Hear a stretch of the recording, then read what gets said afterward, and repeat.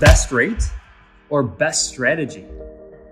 Well, I completed a course about a year ago called CMA, Certified Mortgage Advisor. And a quote really resonated with me from going through the course.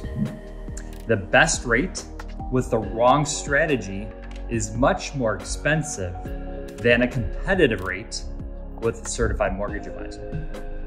So, what does that mean?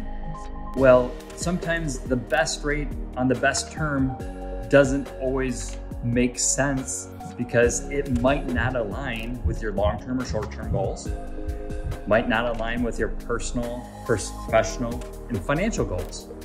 So, we want to make sure we create that right strategy to make sure that we align with your goals, whether it's a two year goal, five year goal, or 10 year goal, who knows?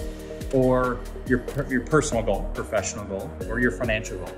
Because buying a house can be or will be perhaps the largest asset that you have or investment you'll ever make. So we want to make sure that the, we put you in the right strategy with a competitive rate and the best product based upon what you're looking to accomplish. And by doing that, we'll ask some tough questions. We will go more granular, deeper questions to make sure that you truly understand the whole process, but also what the difference is, for example, maybe on down payment. Maybe it doesn't make sense to put 20% down. Maybe 10 or 15% if you have really strong credit, because mortgage insurance is really inexpensive these days if you have good credit.